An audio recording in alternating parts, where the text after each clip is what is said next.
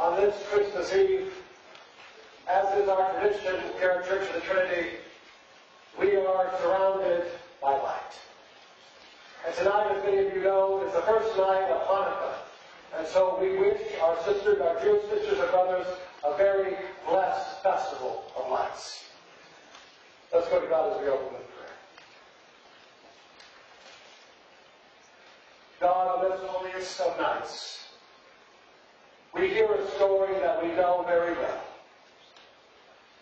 A story that on its surface is ordinary, a baby born.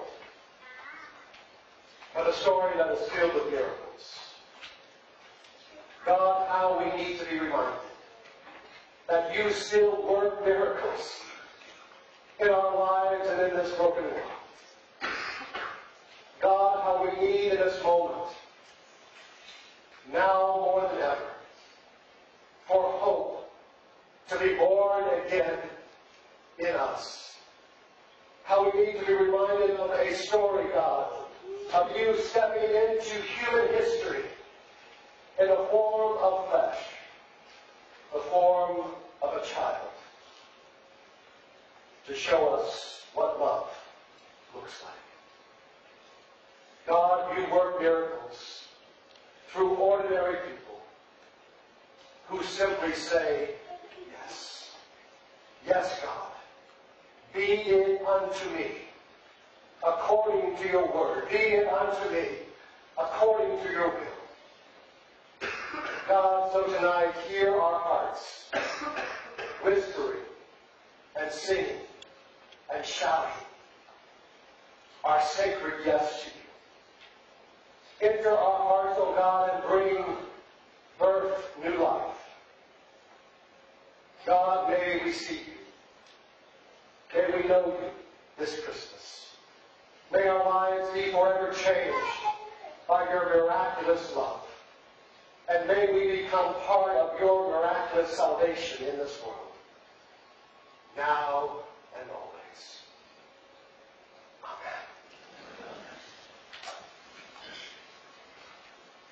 What child is this?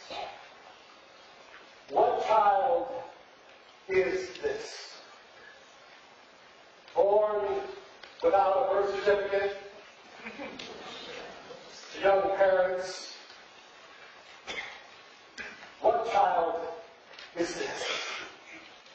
Born to a family who will soon be running for their very lives. What child is this? Refugees in search of safety for their newborn. What child is this? A child like migrant children today, all over the world. Children and families who are stateless, without documentation of status. What child is this? Born into a broken and troubled kind of world. What child is this?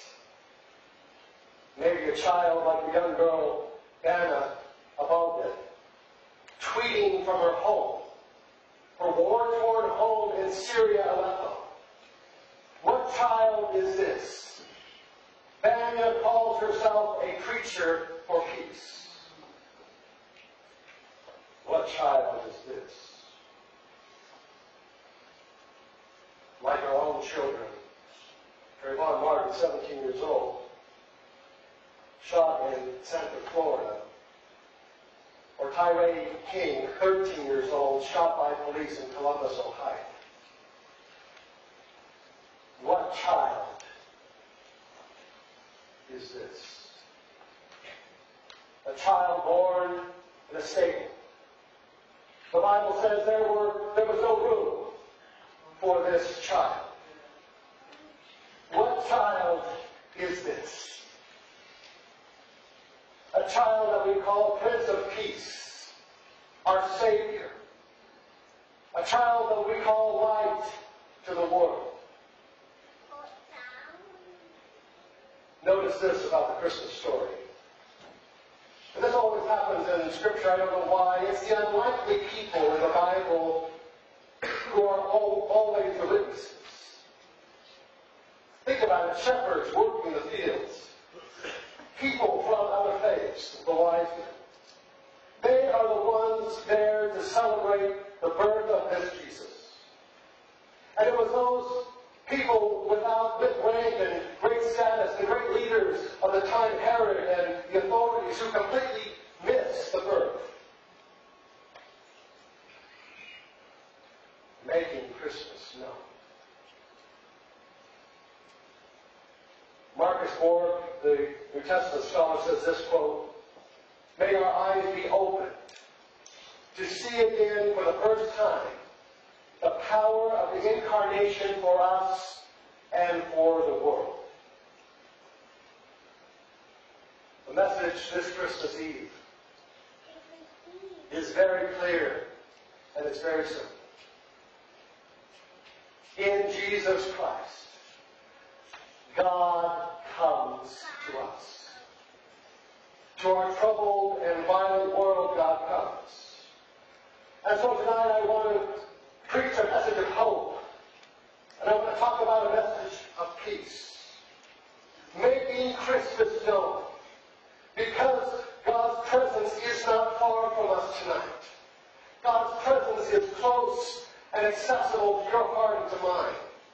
To excluded people, to marginalized people, to women, to shepherds, to foreigners, to migrants.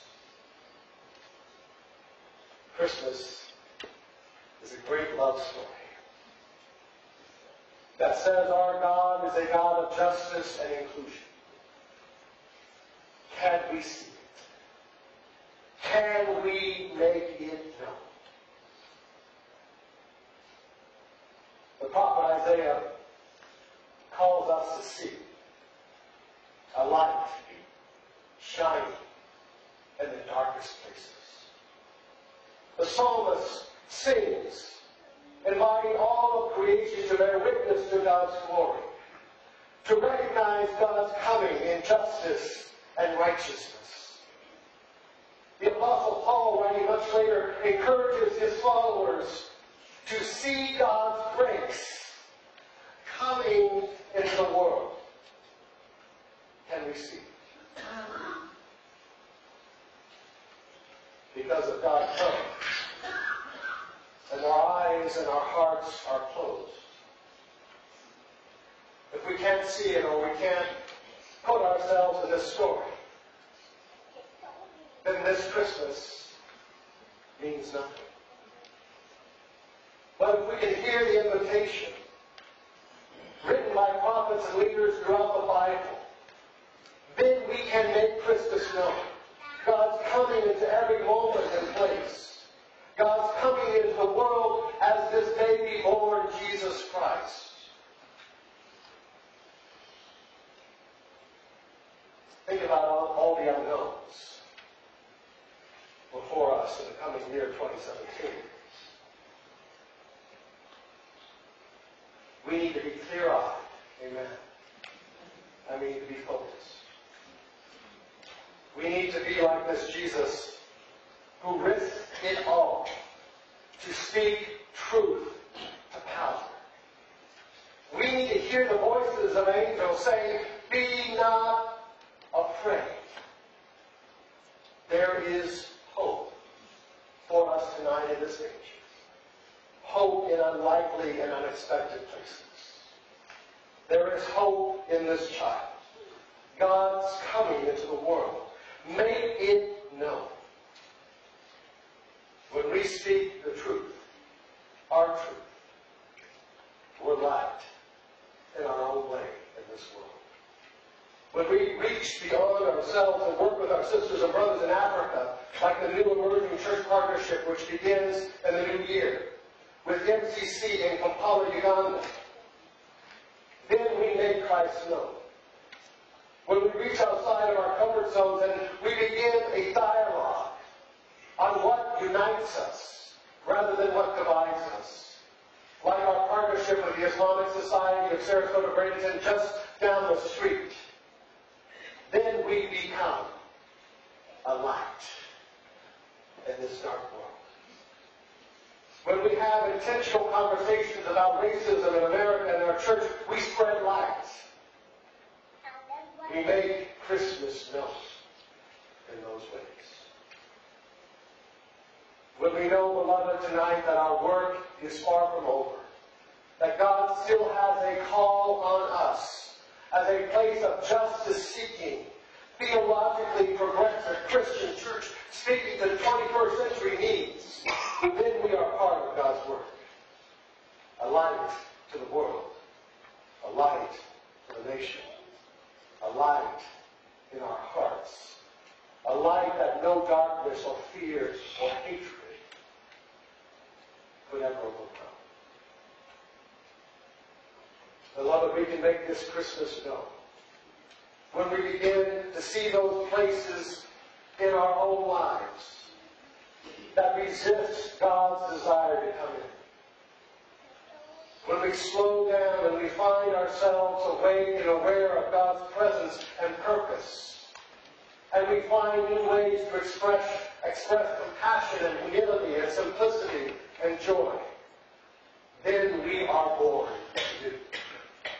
Make this Christmas known.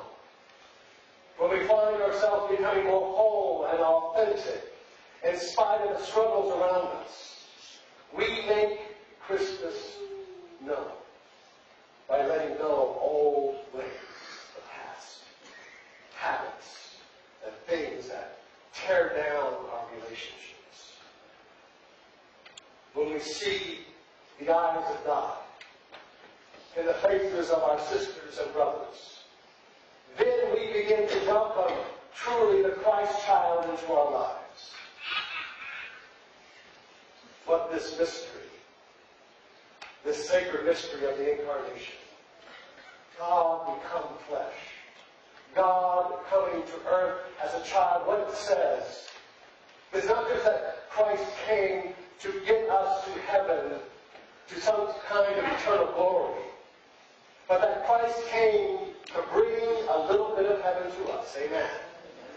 A little bit of justice, a little bit of peace, a little bit of hope, a little bit of heaven comes down to earth. We make Christmas known when we become in our own ways the very hands and feet, the very body of Christ in our world and our time. When we work for justice and equality. When we don't allow the darkness to overwhelm our lives.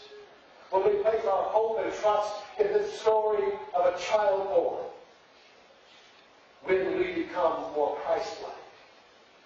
We bring a little bit of heaven down into our lives making Christmas known. God's gift to us this season is to call an unlikely group of people, you and I, ordinary people. Says peculiar people, you and me, to be part of God's extraordinary purpose and plan.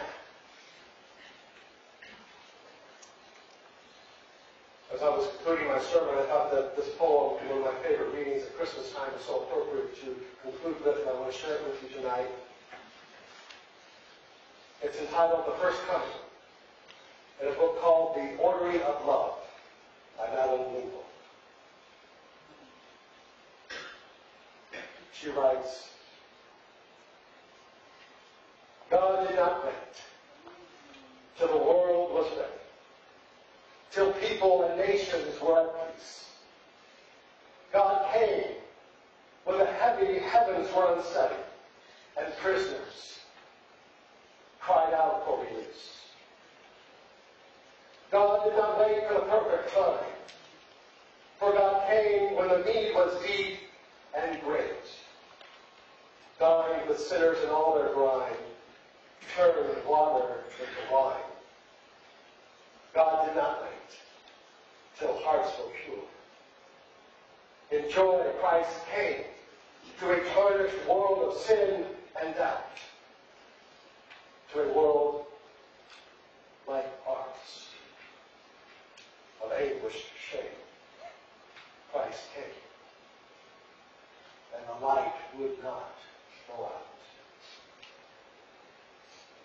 came for a world which did not mesh, to heal its tangles, to shield its scorn. In the mystery of the Word become flesh, the maker of the stars was born. And so we cannot wait till the world is saved to raise our songs with joyful voice, or to share our grief, to touch our pain. Jesus Christ came with love. Rejoice. Rejoice. Merry Christmas, church.